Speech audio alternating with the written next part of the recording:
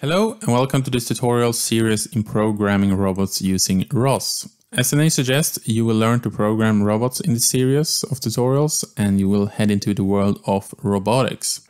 While doing these tutorials, you do not need to have any robot at home as we will be working in a simulated environment, so you will only be using your own computer.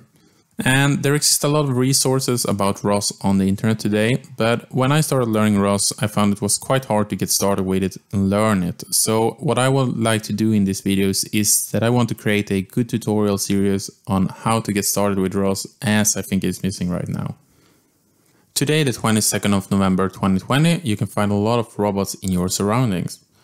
One easy example is a robot vacuum cleaner, which is, has become very popular in the recent years in many homes. And earlier this year, Amazon presented their home security drone, which flies around your home automatically, which is really impressive as flying robots is pretty advanced. And as you probably know, there is a huge research on self-driven cars today, which is not so far away, and we do even have robots on Mars. So the field of robotics is really growing right now and I think it is an industry which will and also has a lot of job offers both now and in the future. So I think learning robotics is a real investment right now. So ROS actually stands for Robot Operating System and is an open source framework for robotics. It was released in 2007, so it has been around for almost 14 years now, and therefore has a good community, and there is a, exist a lot of resources out on the internet today. And as far as I know, it's quite popular in research, and there even exists some really commercial robots out there running ROS, which is awesome. So the ROS framework contains tools, libraries and conventions to make the development of robots for you and me as developers easier. It also exists a lot of libraries which you can download and use in your own projects. So say for example that you want to focus on computer vision and you do not want to focus so much on the movement of the robot. Then you can download a library from the for movement from the internet and you can start using it while you can focus on developing your computer vision. And there exists a lot of libraries for other things too, so if you need something and don't want to develop it yourself, I recommend you to search for it as it might already exist for ROS. So as I mentioned earlier also, ROS is a framework, which means that it is not a programming language. The two most common and well supported language for ROS is C++ and Python. I prefer to use C++, so that's what we will be using in this tutorial, but if you prefer Python to C++, you can use that instead. And before we begin, I just want to mention something about these tutorials. So what we will be focusing in these tutorials is how to install ROS, how to create new ROS projects, and how to ma master the basic concepts of ROS.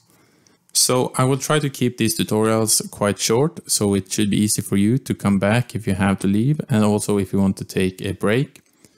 I will try to keep them around 10 minutes, 10 minutes, so they might be longer. I, I'm not sure about this 10 minutes, but hopefully it's only 10 minutes and maybe I break it into two parts if it's longer. And if you do have any questions, please write them in the comments and I will try to answer them. If you face errors though, try to search the internet before asking questions about errors because the most fixes exist on the internet and it's hard to help with those in a comment section here. But uh, the most fixes exist on the internet. And one last thing before I end this presentation. To develop ROS, you need to have a decent computer. Not the best one, but prefer preferably one with a graphics card, as simulation can be quite resource demanding. You also need some programming experience. You don't need to be a professional, but I won't explain every line of code that I will be writing. I will more explain what we actually do with lines of code. So I will not uh, explain what a string is and so on. And last but not least, it is good if you have some experience with the Linux terminal as we will be using it a lot. So let's dive into the installation. So before we start installing, I just want to say that the preferred OS to install ROS on is Ubuntu Linux. but I can't install Ubuntu Linux on this machine, so I will use uh, WSL2, Windows Subsystem for Linux 2. And if you want to know how to install it, I will put a link to another video that I have, so on, on how to install WSL2 on Windows. But for now, I will use this one. So this is a Ubuntu Linux 2004 installed on my Windows 10.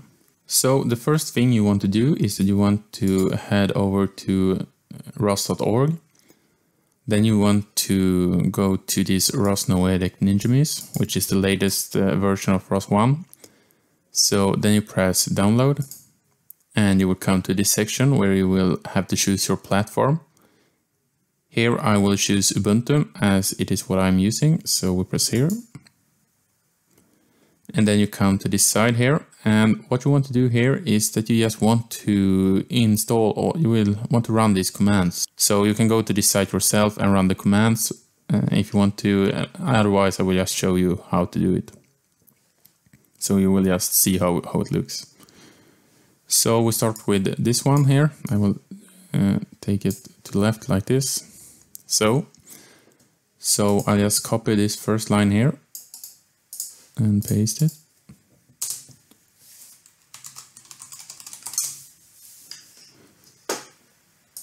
And then we take step one.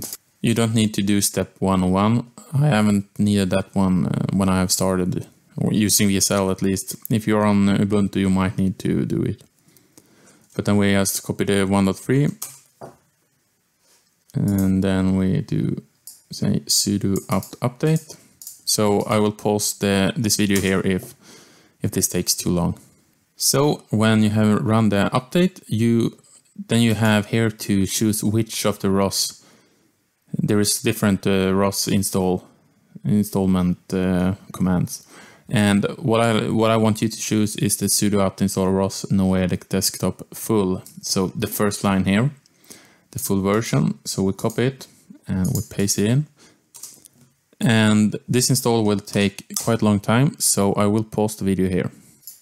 So now when that is done, the next thing you want to do is that you want to copy this line of code here, not the one that is straight under 1.5 environment setup. You want to take this, which is under bash.